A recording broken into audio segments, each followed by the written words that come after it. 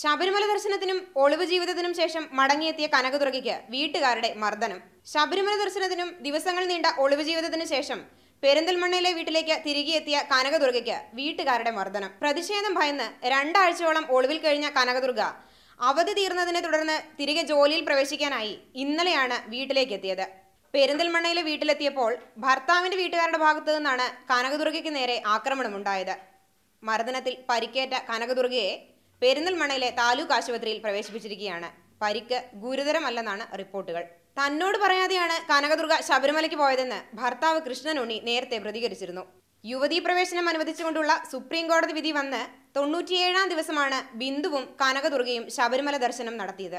സപ്ലൈകോ ജീവനക്കാരിയായ കനകദുർഗ തിരുവനന്തപുരത്ത് ഔദ്യോഗിക ആവശ്യങ്ങൾക്ക് പോവുകയാണെന്ന് പറഞ്ഞാണ് വീട്ടിൽ നിന്ന് പുറപ്പെട്ടതെന്നും ഭാര്യയുടെ ശബരിമല യാത്രയെക്കുറിച്ച് മാധ്യമങ്ങളിലൂടെ മാത്രമാണ് താൻ അറിഞ്ഞതെന്നുമാണ് ഭർത്താവ് കൃഷ്ണൻ ഉണ്ണി പ്രതികരിച്ചിരുന്നത്.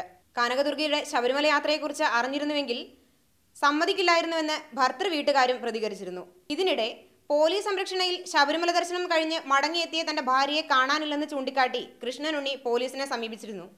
ഈ പ്രചരണം ശരിയല്ലെന്നും താൻ പ്രതിഷേധം ഭയർന്ന് സുഹൃത്തുക്കൾക്കൊപ്പം മാറി നിൽക്കുകയാണെന്നും കനകദുർഗ പോലീസിനെ അറിയിക്കുകയായിരുന്നു. ഇത്തരം നാടകീയ സംഭവങ്ങൾക്കൊടുവിൽ ഇന്നലെ പെരുന്നൽമണയിലെ വീട്ടിലേക്ക് കനകദുർഗ തിരികെ എത്തി.